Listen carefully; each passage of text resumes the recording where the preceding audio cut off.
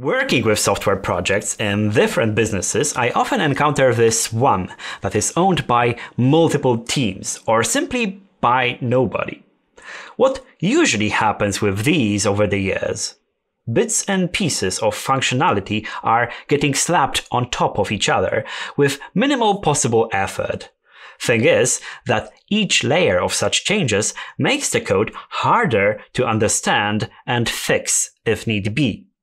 So, how do professionals deal with such a problem? Hi, I am Smok and this is Quick Answer.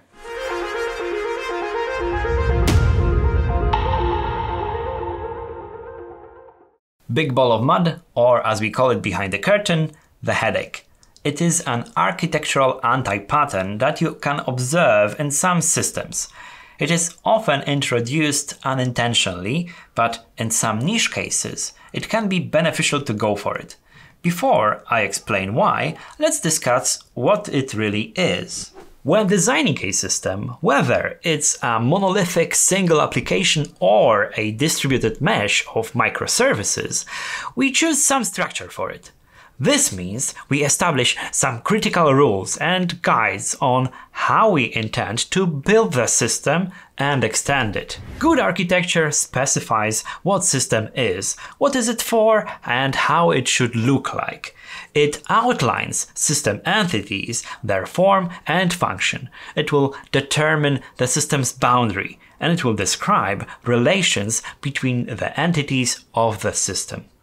It may mean that some services won't be able to talk to each other directly, or that data flows in some direction but not the other. It may mean there will be some overhead, more work, or tasks that are coincidentally the same but serve a different purpose. Such heavy restrictions are limiting the speed in which the project is built and extended but at the same time, they allow us to keep things in order. This exact order is the whole value of the great architecture. Here is the thing Big Ball of Mud occurs when we give those rules up. Our components are free to share data however they want, introduce low level optimizations to high level code, extend the functionality outside of the context they are part of, and ignore any boundaries. Main characteristic of this anti-pattern are poorly defined domain, mandatory direct communication, and clustered deployment. Let's begin. Poorly defined domain means that it's hard to tell exactly what the component is about. Its access points do not require all necessary data to process a task, thus leading to reaching to other components for all required information, introducing data interference. Mandatory direct communication means not using message or event driven communication. If most tasks or all tasks have to be communicated directly, there is a problem services are tightly coupled to each other and require a lot of details to connect. As we know, details are volatile.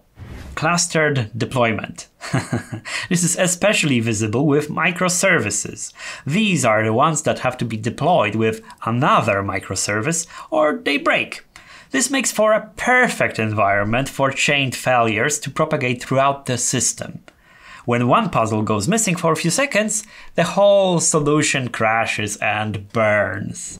Avoid big ball of mud if you're shipping a project that is sufficiently defined. Ditching architectural rules only makes sense if you're already planning a rewrite or you're using this system as a discovery of the actual project requirements.